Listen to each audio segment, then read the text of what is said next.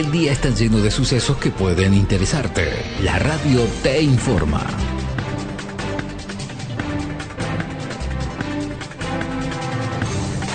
Nacionales. Procesaron con prisión preventiva a la diputada oficialista Aida Ayala. Una jueza federal de la provincia del Chaco dispuso el procesamiento con prisión preventiva de la diputada nacional Aida Ayala, acusada de lavado de activos cuando ejerció como intendenta de resistencia. Ayala fue internada en la madrugada en un sanatorio de la capital chaqueña, según informaron sus allegados, y el procesamiento con prisión preventiva de Ayala fue dictado por la jueza federal Sunilda Nirenperger, quien también dispuso similares medidas para el líder del Sindicato de Municipales de Resistencia, Jacinto Zampayo, y los empresarios Carlos Huidobro y Pedro Alberto Martínez, entre otros. Internacionales. Macron le promete nacionalidad a un indocumentado que salvó la vida de un niño. El presidente de Francia, Emmanuel Macron, recibió como un héroe a Mamoudou Gassama, el maliense indocumentado que salvó la vida de un niño de cuatro años en París. Tras trepar cuatro pisos, le prometió la nacionalidad gala y formar parte del servicio cívico de bomberos de la capital francesa. Deportes. La selección se despide de los hinchas en la bombonera. El seleccionado argentino de fútbol se despide este martes de los hinchas con un amistoso de preparación para el Mundial de Rusia 2018 en un encuentro ante su par de Haití en la Bombonera. El estadio de Boca Juniors vuelve a ser sede de un partido del combinado nacional en el encuentro que va a comenzar a las 20 horas y que será televisado por TIC Sport. En 60 minutos, volvemos. Marta y Héctor caminan juntos las veredas de Buenos Aires desde hace 40 años. Hoy las vuelven a descubrir. Estamos renovando las veredas para que caminemos más cómodos y disfrutemos más del barrio. Juntos estamos transformando la ciudad. Vamos, Buenos Aires. Para comunicarte con nosotros, podés llamarnos a los teléfonos 4372 2841 4372 3061 o a nuestro contestador automático 5256 9640. Volvemos a nuestra programación habitual. Volvemos a Onda Latina. Fin de espacio publicitario.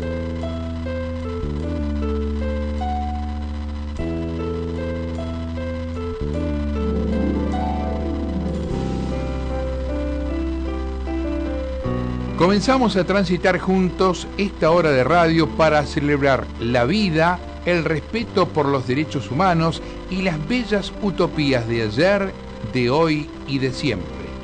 Generación abierta en radio. Letras, arte, educación, tu programa de cultura.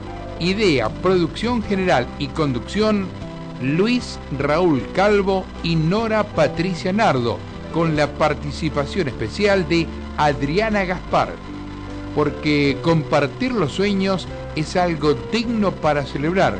Sumate a nosotros en la AM 1010.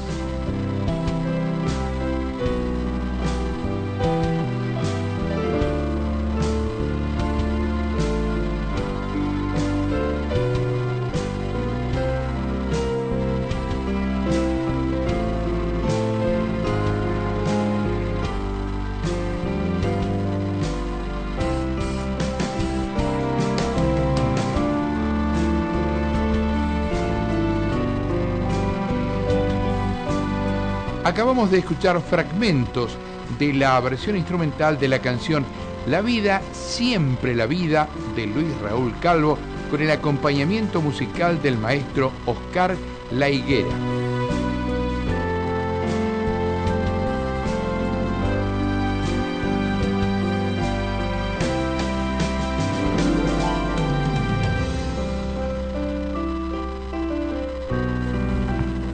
Hola, ¿qué tal? Buenas noches. Nuevamente acá en la M1010 Onda Latina con Generación Abierta en Radio. Vamos a compartir una hora con literatura, arte, educación. Si querés tomar contacto con nosotros, puedes hacerlo llamando al 4372-2841, 4372-3061 Y también por otras vías, Nora, ¿no? ¿Qué tal? Buenas noches. Sí, buenas noches a todos nuestros oyentes, por otras vías como el Facebook de Generación Abierta, como el Twitter, arroba Generación Abierta, como el mail, generacionabierta.com o en nuestra página www.generacionabierta.com.ar. Muy bien, diferentes vías ¿eh? para contactarse. Aprovechamos y les comentamos a nuestros oyentes que ya están subidos a nuestro sitio de Generación Abierta, que es www.generacionabierta.com.ar, los últimos programas Así de radio, como también están subidos en el canal Generación Abierta en YouTube. Así es, pueden, canal Generación Abierta está subido todos los programas, además de todo lo realizado por Generación Abierta en diferentes eventos, entre ellos el Café Literario Antonio Liberti. También. En relación al Café Literario Antonio Liberti, les comentamos que el próximo viernes, viernes primero de junio, vamos a llevar a cabo el encuentro número 554 de nuestro ciclo. Nos van a acompañar eh, la artista visual Laura Britos, que el día de mañana inaugura justamente su muestra en el Café Montserrat y Adriana Gaspar va a mantener un diálogo con ella. Tendremos en la mesa de poesía a los poetas Estela Barrenechea, Mariel Monente y Jorge Rivelli. Eh, María de se va a referir a, a Salvatore Quasimodo y tendremos la presentación del libro de Daniel Galloso, Los signos de la presencia. El autor va a mantener un diálogo con Amadeo Gravino y tendremos música. Nos van a acompañar eh, Paco Rizzo en la parte de tango y Eduardo Méndez eh, con sus eh, canciones, ya que Eduardo es eh, cantautor.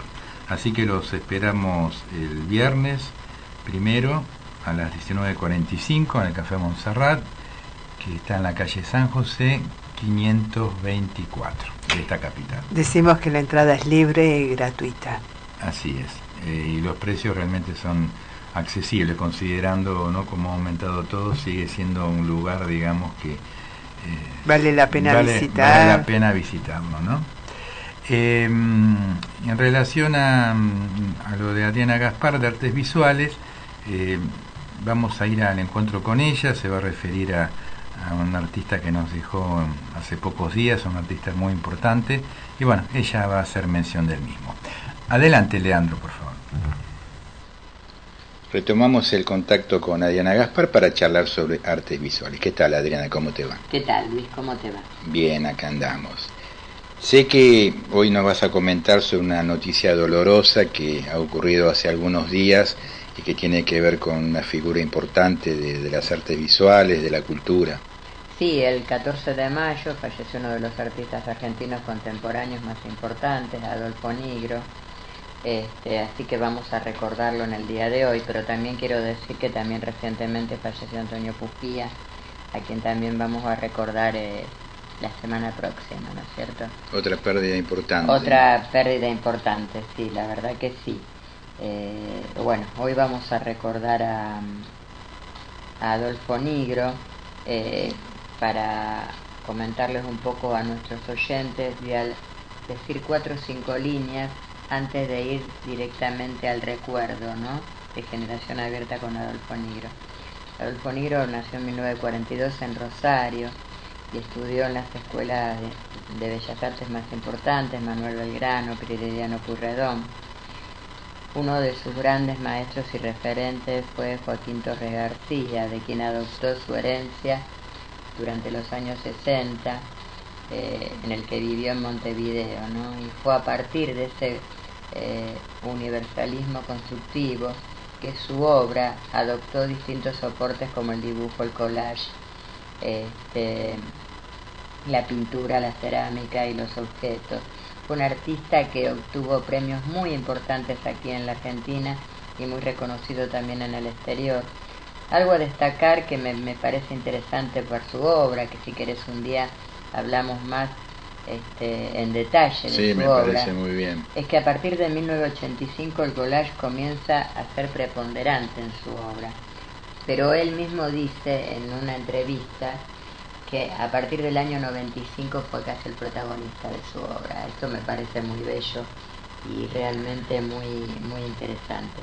Bueno, y la mejor forma de recordarlo me parece eh, leer algunos párrafos de una entrevista que Generación Abierta, con motivo de la presentación del libro Plankton de César Van Din Rom, poeta, y Adolfo Nigro, artista plástico, este, con motivo de la, bueno, de la presentación de este libro, Generación Abierta dialoga con ellos.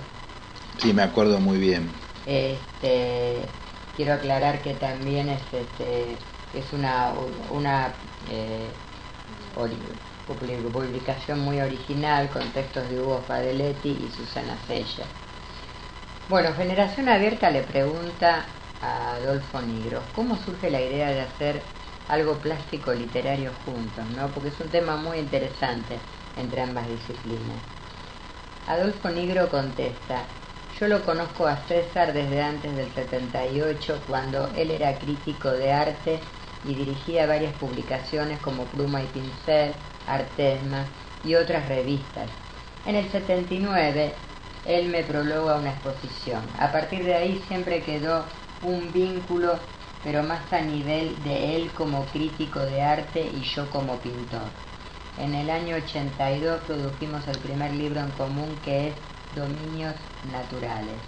Ahí queda esa experiencia con ahí queda esa experiencia con César, siempre viéndonos cada tanto, interrumpidamente por cosas del vivir.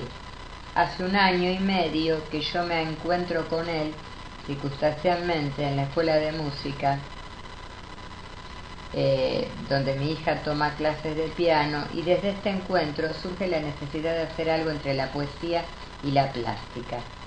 Pero él planteó desde un, desde un principio hacer algo diferente. A lo que Generación Abierta le pregunta, ¿y entonces cómo, no?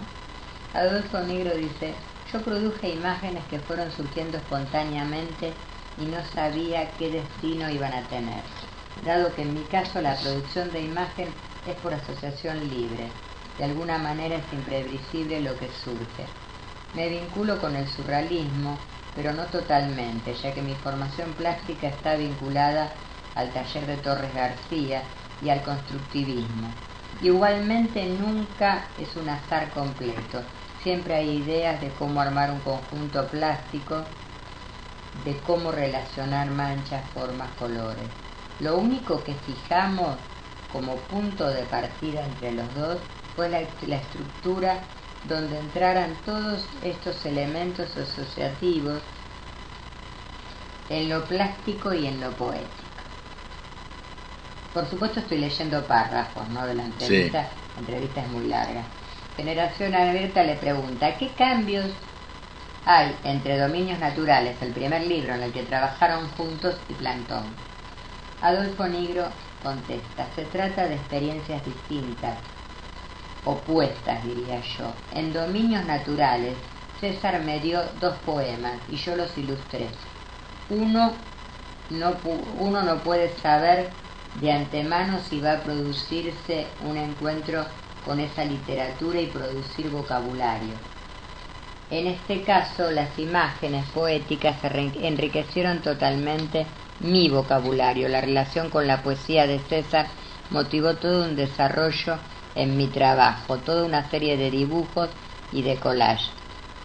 Eh, es interesante que, digamos, esta conjunción de ambas disciplinas artísticas eh, no estaba supeditada una a la otra, ¿no? sino que fue un trabajo de recreación eh, permanente entre los dos artistas, ¿no? el poeta y el artista visual. Por supuesto, y eso fue lo que más nos llamó la atención y nos interesó dentro de, eh, lo que decían en esta entrevista. César Bandín dice, en Plantón, Adolfo me proveía de mucha cantidad de dibujos, inclusive desde el exterior él me mandó imágenes, que yo sabía que eran un alfabeto, los enumeré, los copié y me hice una suerte de catálogo de lo que él me había dado y decidí que eso era un alfabeto que se iba a mezclar con otro, alfabeto que yo iba a construir y que iba a estar basado en frases y textos muy breves y los iba a cruzar. Estos dos alfabetos son los que dieron un nuevo alfabeto mixto, mixto eh, que por supuesto es este libro. Eh, esta entrevista la verdad que es muy enriquecedora y creo que bueno, sería... aprovechamos los invitamos a nuestros oyentes a que ingresen a nuestro sitio. eso justamente te iba a decir, a que ingresen al sitio web de Generación Abierta porque la verdad que enriquece mucho. Enriquece mucho porque es el trabajo de dos grandes y porque es eh, una forma muy particular eh, de entablar un proyecto en el que tanto la plástica como la poesía son protagonistas. Y esto me parece que hay que recalcarlo y es sumamente importante. Sí, fundamental. Que no es un libro ilustrado, sino que ha sido un trabajo conjunto. Claro. Este... www.generacionabierta.com.ar pueden ingresar para, para leer, la entrevista, entrevista y bueno, por supuesto otros artículos, programas de radio que hay en, en el sitio. Bueno, Adriana, te agradecemos mucho, realmente muy interesante recordar a este gran artista que nos dejó y bueno, nos queda su obra, como siempre decimos. Sí, una obra maravillosa de la que ya nos, este, nos vamos a dedicar en algún momento, pero hoy me pareció importante leer párrafos de la entrevista que justamente fue Generación Abierta quien le hizo a los dos protagonistas del libro. Fantástico, Adriana. Hasta la semana próxima. Hasta la próxima semana. Gracias. Bueno, muy bien, muy interesante lo que comentó Adriana, recordando esta entrevista que Generación Abierta de realizar a, Adolfo Nigro a raíz de la publicación de este libro conjunto con el poeta y que permitió conocer también eh, muy bueno estas apreciaciones también de Nigro acerca de, cómo se puede eh, trabajar en conjunto ¿no? con otro artista de otra disciplina. Así es, cómo se puede, la verdad que lo explica muy bien. Y bueno, los conceptos, conocerlos desde su palabra, desde su, de su forma de pensar y no solo de su obra, realmente claro. es acercarse más profundamente a él, ¿no? Sí, sí, sobre todo, bueno, en esto de, de poder interactuar, en el caso del artista visual, con un poeta, en el cual eh, ninguno de los dos estaba sujeto al otro, sino que se recreaban mutuamente, mm. ¿no? Así en, en, la creación. Bueno, vamos a ir al primer tema musical. Estamos cerrando este mes con Pablo Milanés y vamos a escucharlo con otro de sus emblemáticos temas. Adelante, Leandro.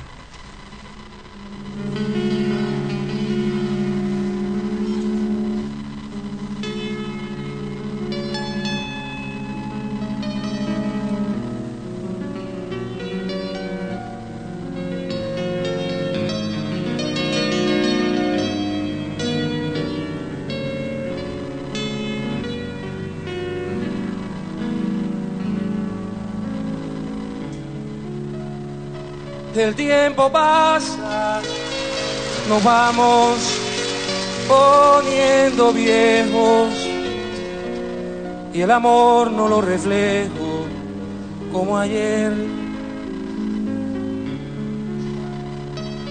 Y en cada conversación, cada beso, cada abrazo, se impone siempre un pedazo de razón.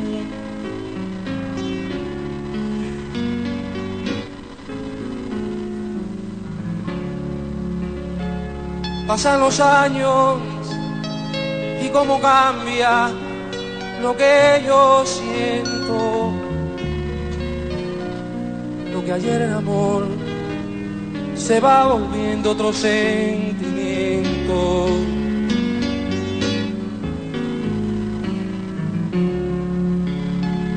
Porque años atrás tomar tu mano, robarte un beso,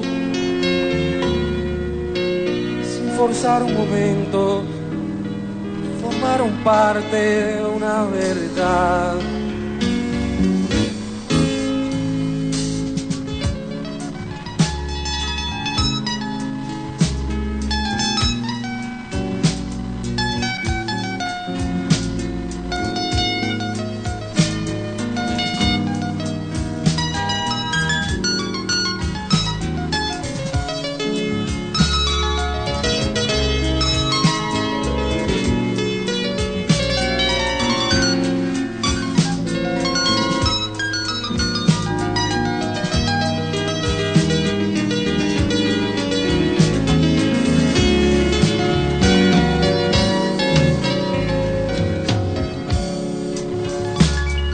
Y el tiempo pasa, nos vamos poniendo viejos y el amor no lo reflejo como ayer. Y en cada conversación, cada beso, cada abrazo, se impone siempre un pedazo de temor.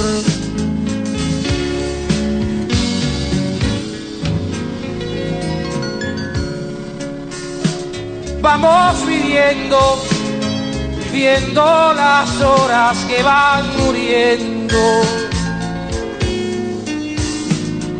Las viejas discusiones se van perdiendo entre las razones.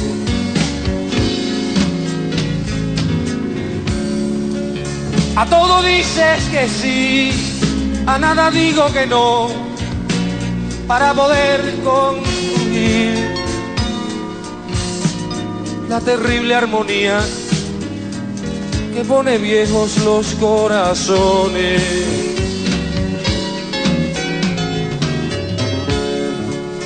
Porque el tiempo pasa nos vamos poniendo viejos el amor no lo reflejo como ayer. En cada conversación, cada beso, cada abrazo, se impone siempre un pedazo de razón.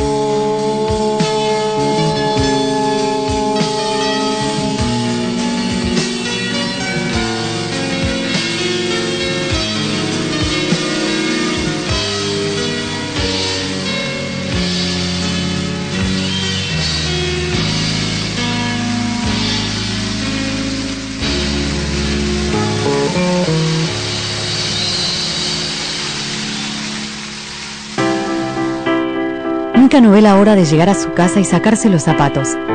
En un tiempo se los va a sacar ahí nomás, para pisar un rato el pasto. Estamos construyendo el Paseo del Bajo. Mejor conexión, más espacios verdes y más seguridad. Juntos estamos transformando la ciudad. Vamos, Buenos Aires. Bueno, habíamos escuchado a Pablo Milanés en esta canción que se llama El tiempo pasa. Hermosa canción, ¿no? Que nos recuerda tantos momentos vividos en nuestro pasado y bueno, y escucharla ahora también nos trae esos recuerdos. Em, hoy estaba viendo que en Google aparece como que es el aniversario del nacimiento de Alfonsina Storni. Eh, 126 años estaría cumpliendo en este momento Alfonsina, que nació en Suiza en 1892, un 29 de mayo. Eh, los padres estaban ahí circunstancialmente, pues después volvieron para acá, para eh, eh, la Argentina. Y murió en Mar del Plata en 1938. Uno, si hace referencia a Alfonsina Storni, uno la recuerda como una de las grandes poetas y una autora de referencia, no tanto quizás desde este lugar como para el feminismo, tanto por su vida como por su obra. En sus libros abordó de forma directa y subversiva para la época temas como la sexualidad femenina, los roles de género y la subordinación al hombre. Me pareció interesante traerla nuevamente a Stormy. Hace muchos años habíamos hablado a, de ella en nuestro segmento eh, Historias que mujeres que dejaron marca en nuestra historia. ¿Te acordás, Luis? Sí. Además de obrera, empleada, maestra y poeta, como si todo fuera poco, Storni se había ocupado de pensar y esbozar perfiles de mujeres. Su posición en ese momento no era entendida por la sociedad, ¿no? Tuvo que usar un seudónimo en la mayoría de los artículos que escribía para que no la despreciaran, porque bueno, la voz de una mujer era bastante despreciada. El seudónimo era Tao Lao. Eh, también habló y había expuesto con, solidez sus argumentos políticos. En sus textos para la prensa se puede leer el apoyo explícito a la huelga de telefonistas y a la candidatura de la diputada Julieta Lanteri, fundadora del Partido Feminista Nacional. Si uno va a Google y ve la revista About Español, eh, puede encontrarse que eh, relaciona su feminismo en cinco poemas y habla de cinco poemas diferentes donde ella da su versión, ¿no? Como la mujer era considerada en ese entonces. Eh, tuvo una vida llena de obstáculos que superó gracias a su libertad y enorme sensibilidad. En las revistas locales de la ciudad argentina comenzó a publicar sus poemas, pero se quedó embarazada a los 20 años de una relación con un hombre casado y decidió seguir adelante con su embarazo. Para tomar distancia se subió a un tren a Buenos Aires donde inició una nueva vida con su hijo Alejandro. Ser madre soltera le hizo enfrentarse a una sociedad llena de prejuicios hacia las mujeres, muchos de ellos las propias mujeres, que rechazaban sus versos por inmorales. Ella misma lo expresa mejor que nadie en el poema La Loba o La inquietud de Rosal. Te leo un fragmento. Yo soy como la loba. Quebré con el rebaño y me fui a la montaña fatigada del llano. Yo tengo un hijo fruto del amor, de amor sin ley, que no pude ser como las otras castas de buey, con yugo al cuello. Libre se eleve mi cabeza yo quiero con mis manos apartar la maleza. Mirad cómo se ríen, cómo me señalan, porque lo que digo así las ovejitas balan, porque ven que una loba ha entrado en el corral y saben que las lobas vienen del matorral. Incluso también podemos ver el rechazo de parte del público. Alfonsina Storni fue la primera mujer que entró a, formar parte de la comunidad de escritores de Argentina, asistiendo a sus comidas y encuentros como uno más, se convirtió en una poeta de prestigio gracias a la publicación de su segundo poemario, El Dulce Daño, de 1918. A él pertenece uno de sus poemas más famosos. ¿Te acordás de este, Luis? Tú me quieres blanca. Tú me quieres alba, me quieres de espumas, me quieres de nácar, que sea cena sobre todas, casta de perfume tenue, corola cerrada.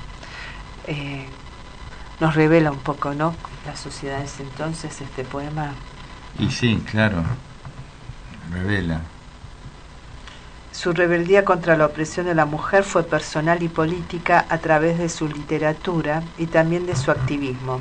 Participó en la defensa del derecho al voto de la mujer argentina y en campañas a favor de la educación sexual en las escuelas. Ella practicó el amor libre tanto con hombres como con mujeres y aunque su poesía, leída en el siglo XXI, cae en algunos tópicos acerca de la debilidad y el amor romántico, muestra a una mujer que toma las riendas de su vida amorosa y un ejemplo de ello es El hombre pequeñito, poema de 1919 que dice, un hombre pequeñito, hombre pequeñito, suelta tu canario que quiere volar, yo soy el canario, hombre pequeñito, déjame saltar. Estuve en tu jaula, hombre pequeñito, hombre pequeñito, ¿qué jaula me das? Digo pequeñito porque no me entiendes ni me entenderás. Storni escribió en total ocho libros de poemas, además de obras de teatro y artículos, junto a los tres poemarios mencionados antes, Languinés, Ocre, Poemas de Amor, Mundo de Siete Pozos y Mascarilla y Trébol. Bueno, por entonces su enfermedad de cáncer mama no tenía solución y al contrario de Alejandra Pizarnik no retrató ansiosamente la muerte, sino que esta fue una mezcla de desgaste vital, su miedo a la soledad y su decisión de controlar su destino. Se despidió de su hijo y sus lectores con un hermoso poema que dice voy a dormir. Eh, bueno, podemos seguir hablando de ella, pero más que nada la traje por este tema, ¿no? Que es tan actual, las mujeres que han logrado poner voz a la condición femenina como lo hizo ella, y en una época tan difícil, a principios del siglo pasado, eh, y tras una historia personal y pública en la que estuvieron presentes eh, no solo la imaginación, el mar, el erotismo, sino esta sumisión femenina. Eh, hay otro bien. poema que, no sé, que dice, en las grandes mujeres reposó el universo, las consumió el amor como el fuego al estaño, a unas reinas y otras sangraron su rebaño. Beatriz y Lady Macbeth tienen genio diverso. Bueno, y sigue. Muy bien. Eh, la última etapa de la vida de, de Alfonsina tal vez está su producción Más eh, rica, ¿no? Más rica porque puede desprenderse un poco de, de la poesía tradicional que ella escribía, muy ligado a lo métrico, y puede ir a un verso libre con, con muy bellas imágenes, ¿no? Lamentablemente, bueno, este, falleció porque creo que podía haber continuado con, con una línea realmente muy interesante. Es, es una poeta que uno estudió en la escuela. Totalmente. Digo, eso tuvo, tuvimos la suerte, porque hay otras poetas quizás de la misma época que no han tenido, no corrió con tal suerte. No, no, eso sí. Y te digo que uno de sus poemas, y bueno, haberla estudiado también hizo que mucha gente tuviera ganas de escribir, ¿no? Porque era muy inspiradora. Así es. Agradecemos los mensajes de María Rosa Maldonado, María del Carmen Colombo, Bud Florica de, Rumanía, eh, Eduardo Chaga de Santa Teresita, Paco Rizo, Daniel Quintero, Patricia Vence Castilla, María Marta Donet, Mariel Monente, Mario Tresec e Isabel Ele- Elena Garritani, quienes nos han enviado sus saludos, y Elena Barile, Y Antonella y, Saibane. eh, Antonella Saibane, quien nos dice que le gusta mucho el programa. Bueno, muchas gracias Antonella y eh, seguimos eh, comentando un poco esto que tiene que ver con, con los hechos de nuestra historia, ¿no? Sí. Hemos venido desarrollando en estos últimos programas ya hace un tiempo. Eh, Vos sabés que hay un personaje muy importante de la historia argentina que escribió que la táctica de acusar de corrupción a los opositores políticos comenzó en la Argentina con la primera junta de gobierno de 1810. Mira vos. Sí, dice, el primer gobierno patrio fue acusado de corrupción por la Asamblea del año 13, que tenía otro signo político. Les hizo juicio por corrupción a todos, incluso a Mariano Moreno, que ya estaba muerto. Todos los días salía en la prensa un nuevo cargo contra algunos.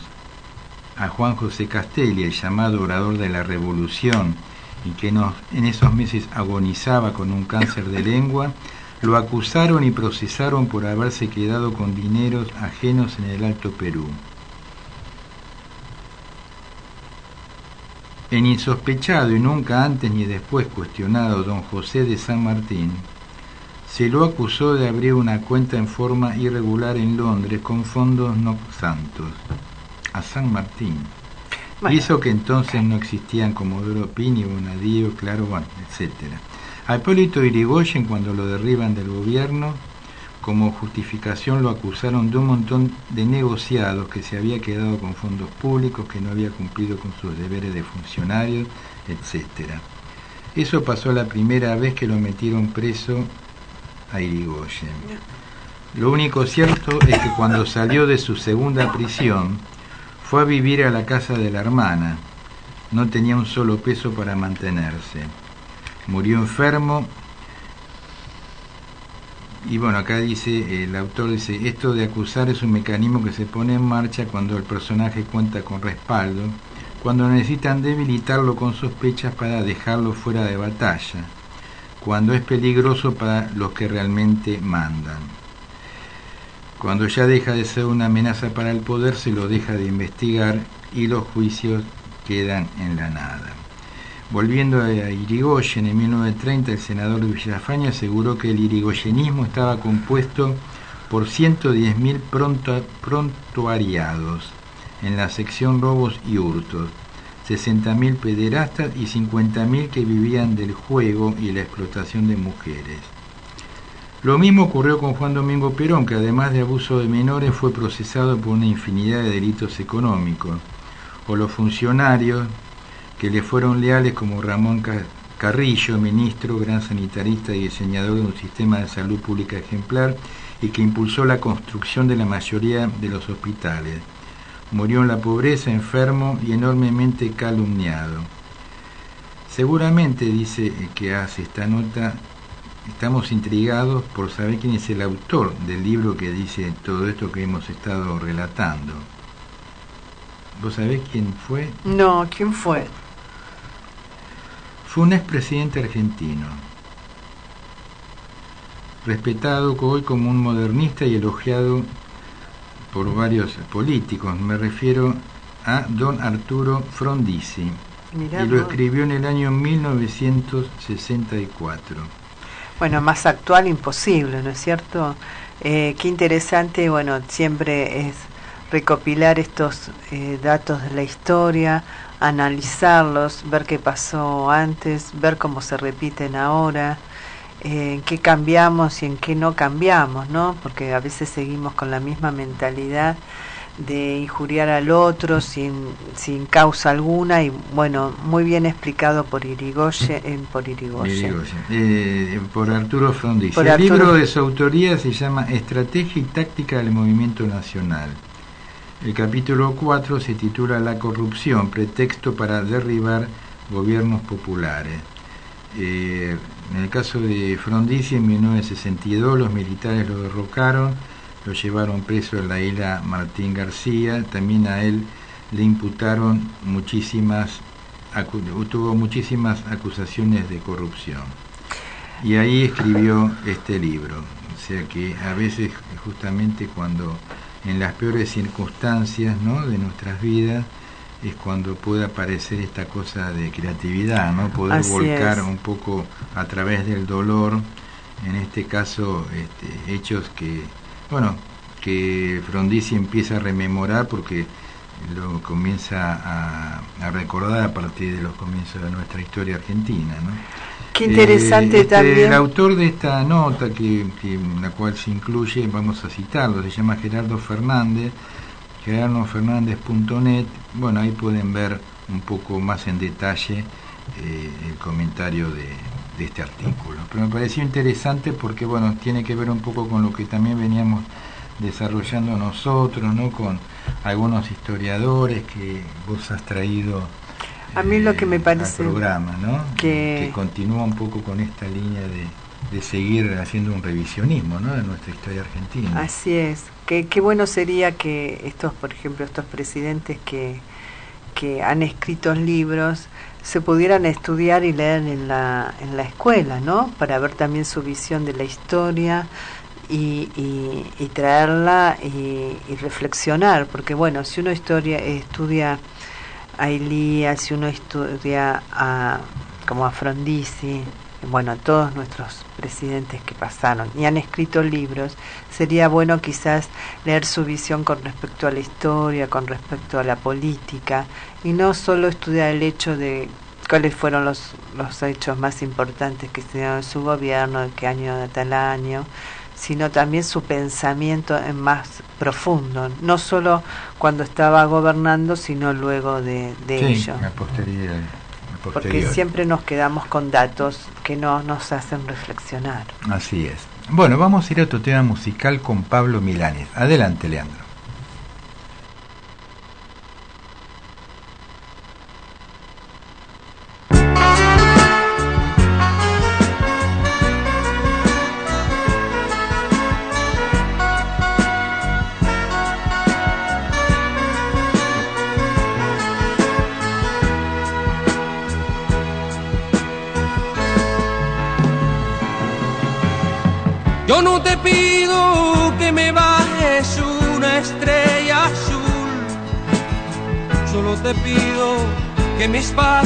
Llenes con tu luz.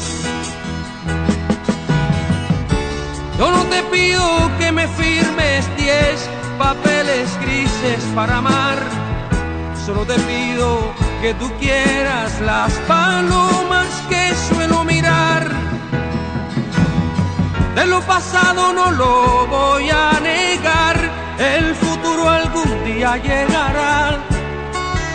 Y en el presente que importa la gente, si es que siempre van a hablar.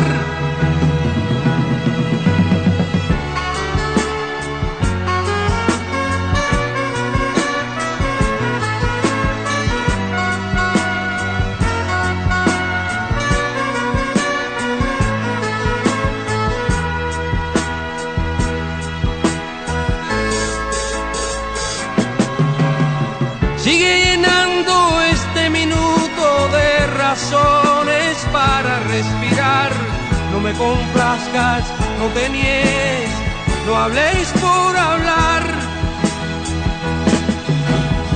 Yo no te pido que me bajes una estrella azul, solo te pido que mi espacio llenes con tu luz.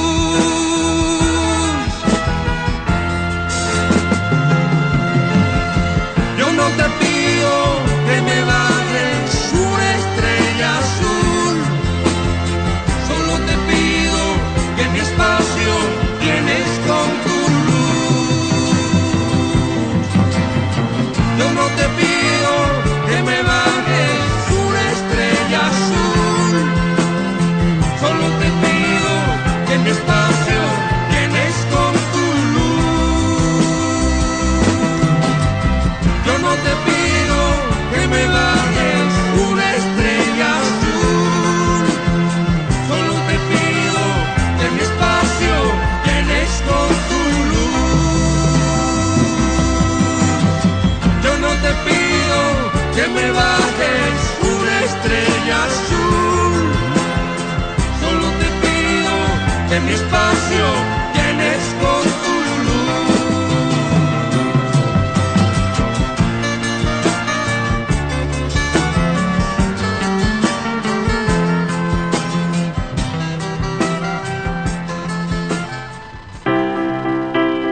Mica no ve la hora de llegar a su casa y sacarse los zapatos. En un tiempo se los va a sacar ahí nomás, para pisar un rato el pasto. Estamos construyendo el Paseo del Bajo. Mejor conexión, más espacios verdes y más seguridad. Juntos estamos transformando la ciudad. Vamos, Buenos Aires. Solo te pido en la voz de Pablo Milanés. Palabras para el amor, palabras para nacer, palabras para vivir, palabras para salvar de morir. Y también palabras para herir, para matar, para confundir. ¿Quién profana la palabra? ¿Quién hiere? ¿Quién mata? ¿Quién confunde? No el poeta, no el hombre recolector de los hermosos frutos, no el artesano de la preciosa herramienta, no el tallador de la sed más antigua, no el solitario más lleno, más repleto, más habitado de este mundo. Esa no es su voz, no es la voz del poeta. Este poema que se llama Y las contradicciones pertenece a Rubén Vela, quien nos dejó hace muy poco, antes de cumplir 90 años, poeta santafesino que celebró el continente americano, había nacido el 3 de mayo de 1928 en la ciudad de Santa Fe, identificado con la generación del 50 y con el movimiento Poesía de Buenos Aires que lideró Raúl Gustavo Aguirre y Jorge Enrique Móvili. Vela publica su primer libro Introducción a los días en 1953. En entrevistas realizadas re reconoció que comenzó a escribir bajo los influjos de los grandes poetas latinoamericanos, Rubén Darío, César Vallejo, Pablo Neruda. En alguna oportunidad, Vela dijo, los argentinos pertenecemos a Europa, a la cultura europea, pero también tenemos raíces muy vivas y muy hondas que nacen en el suelo americano y que se desarrollan en Buenos Aires, a pesar de la influencia francesa, inglesa, italiana o española. Esas raíces americanas, dice Vela, son las grandes modificadoras de nuestro pensamiento. Licenciado en Antropología, Arqueología y Diplomacia, presentó estudios en varias universidades argentinas y latinoamericanas y presidió la Sociedad Bolivariana de Antropología y el Centro de Investigaciones de Tiwanaku. Fue socio fundador de la Fundación Argentina para la Poesía, presidente de la Sociedad Argentina de Escritores y delegado argentino de la UNESCO y miembro del PEN Club de Brasil. Fue también eh, diplomático desde 1975. Su obra, que se encuentra traducida a varios idiomas, mereció galardones como el primer premio Buenos Aires, el premio José Pedroni, el premio internacional del PEN Club de Brasil, faja de honor de la SADE, y en 2006 el gran premio de honor Esteban Echeverría, por la totalidad de la obra. Vamos a compartir otro poema con nuestros oyentes. Sí, porque son muy bellos realmente.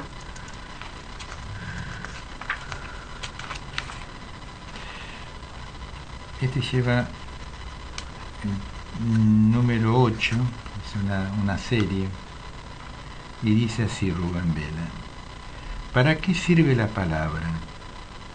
Para revelarle al hombre su pérdida, dimensión humana, para devolverle su reino en esta tierra, o más sencillamente, para hacer mejor al hombre. ¿Mejor para qué? Para incendiarse en esta pasión común y tan distinta, este ejercicio cotidiano que se alimenta de amor a cada instante. ¿Y qué es ese amor?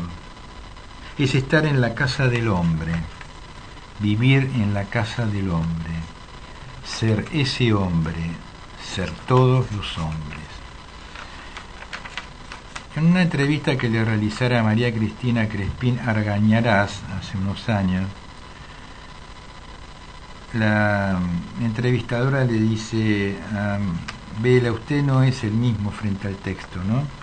Y él dice, el poema es la expresión más pura del individuo. Cuando nosotros pensamos en la creación del mundo, vemos que lo primero que sale es la palabra la palabra es el primer concepto de Dios que tenemos en el mundo. El mundo fue hecho a través de la palabra.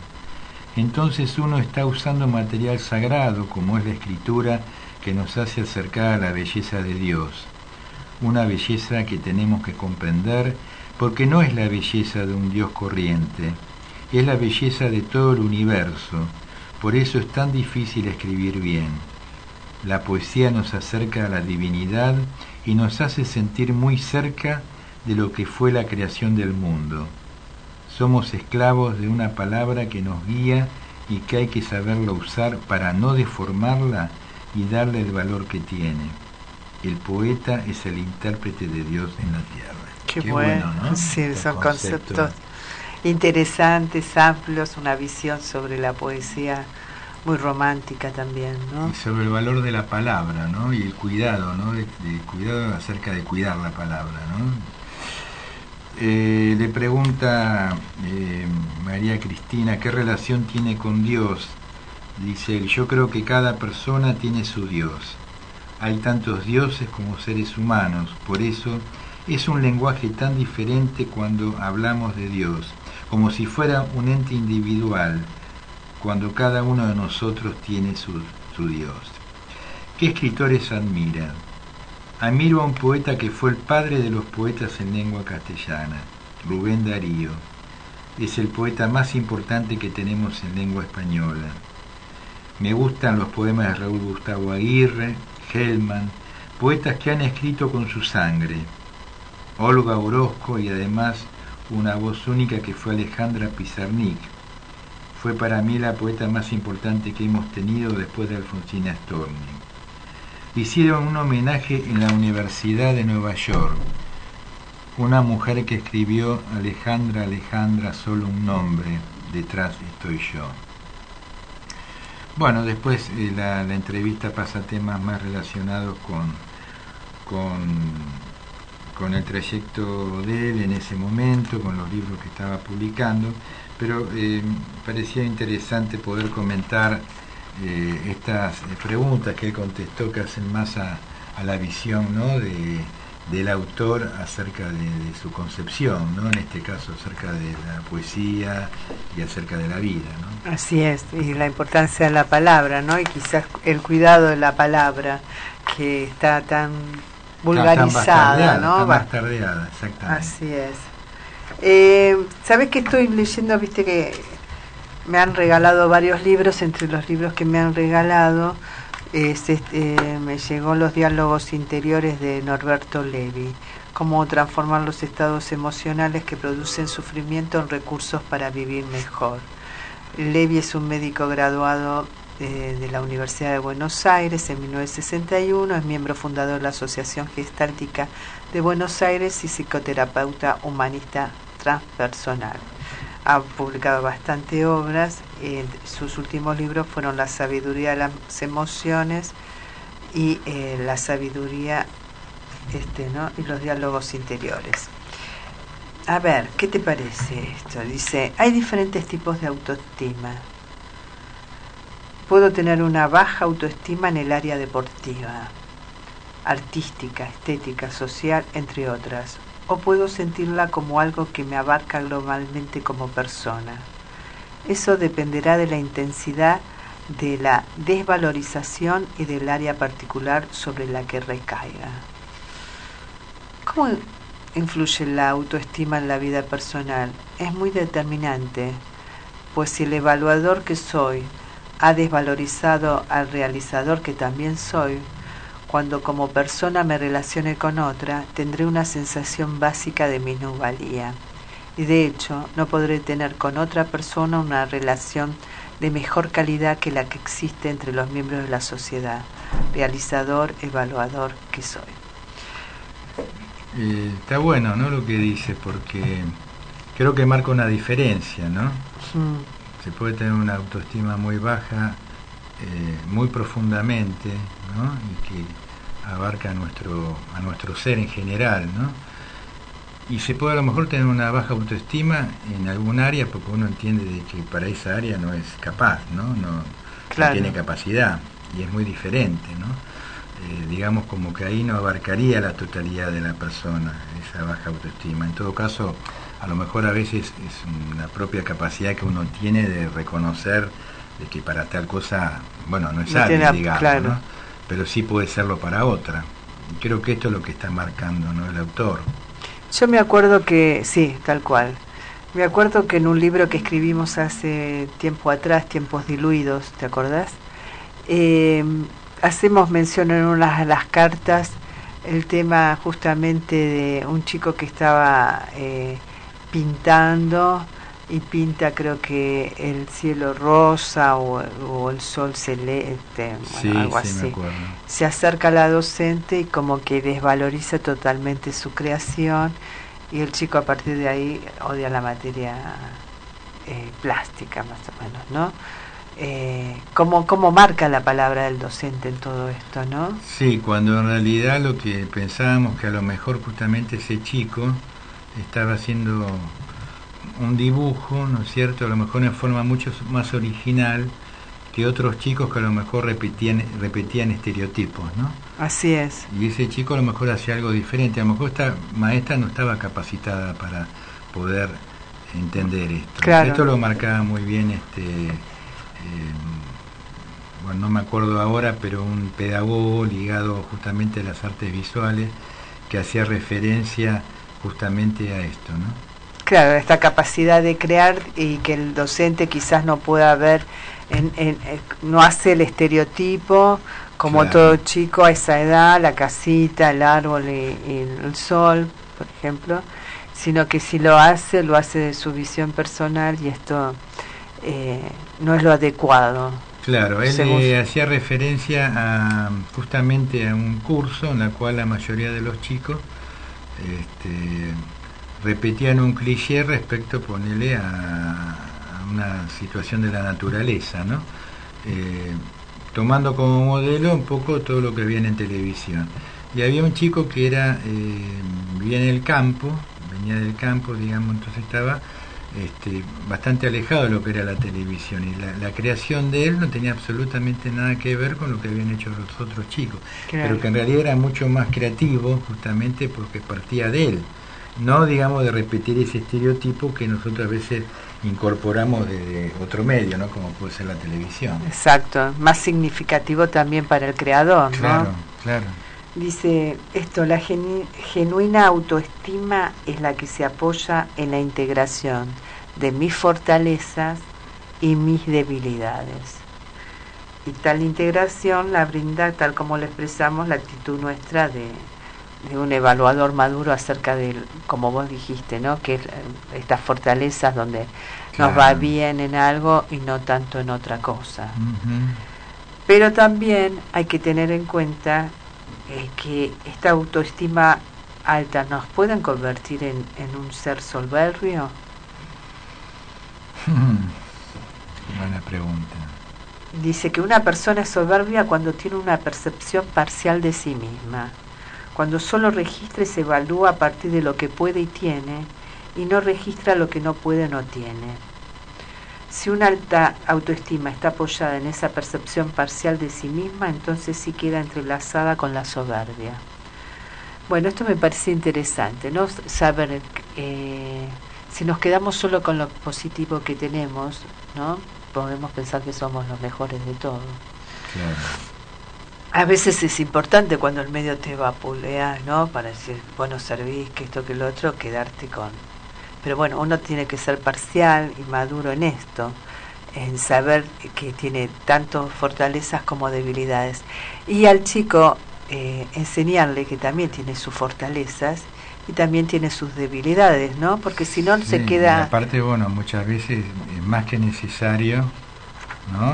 En un tratamiento con chicos, justamente eh, más afirmar eh, estas capacidades, es decir, más afirmar sus potencialidades y no ir tanto, digamos, a, esos puntos, digamos, más débiles, ¿no? Exactamente. Para fortificar la autoestima. Y aceptar esos puntos más débiles, ¿no? Porque si no, eh, esto claro, en chicos con tratamientos en general nosotros vemos que vienen con baja autoestima. Muy baja. Muy baja. Pero en aquellos que tienen alta, quizás esto de la frustración también si uno puede, él puede ver que, bueno, no todo lo puede, que no todo es maravilloso. Claro. Esto, que la frustración forma parte de la vida y que hay que asimilarla como tal. Exactamente. ¿no? Que no es que, es algo negativo.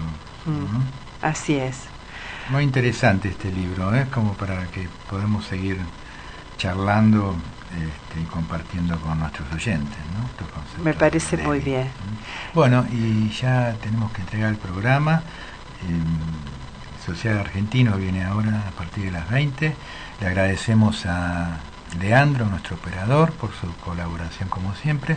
Y nos vamos recordando que compartir los sueños es algo digno para celebrar. Muchas gracias y hasta el próximo martes.